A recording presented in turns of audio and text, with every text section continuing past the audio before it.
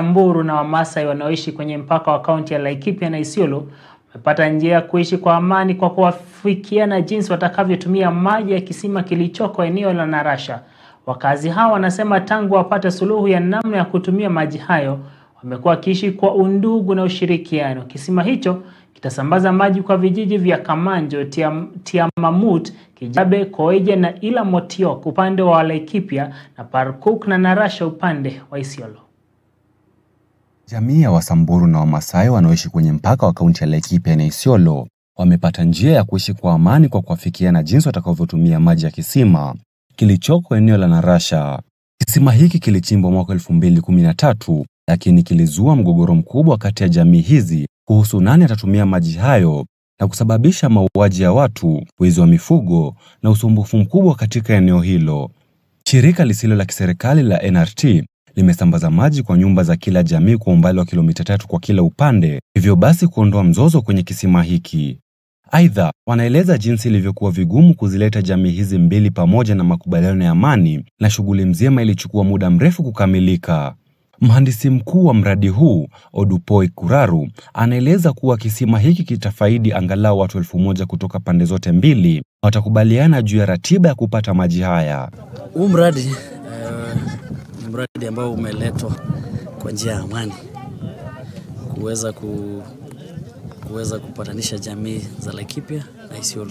Hapo mbeleni kulikuwa na uhasama kubwa katika hizi jamii mbili.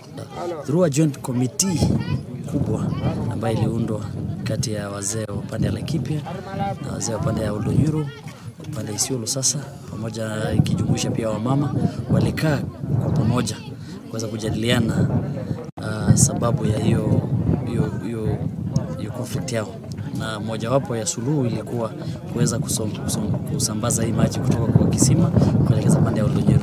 So huu mradi ndio sasa uliweza kuvuta maji kilomita kama tatu kutoka kwa source borehole ambayo iko pale mpaka hii tanka ambayo inajengwa hapo nyuma yangu uh, ambayo sasa inawiri wanaweza kusambaza hii maji mpaka kwa vijiji. Wakazi hao wanasema tangu wapate suluhu ya namna ya kutumia maji hayo wamekuwa wakiishi kwa undugu na ushirikiano, na sasa wamejikita katika kugawana rasilimali zingine kama vile malisho.